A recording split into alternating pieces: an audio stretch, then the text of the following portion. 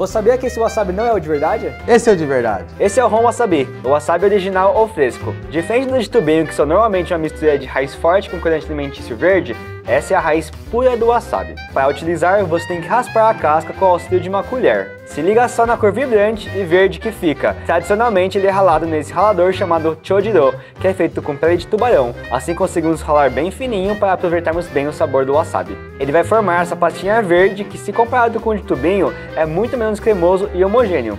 Será que é bom? Nossa, é bem gostoso. Não é tão forte. Herbal. Mentira, É forte sim, Herbal. mas é mais herbal. Herbal. Ele ainda é ardido, porém contém notas terrosas e herbais. Recomenda-se utilizar em menos de 15 minutos para não perder aroma e sabor, por isso é ralado fresco. Quer comer wasabi de verdade? Cola nos. Qual o seu chivas?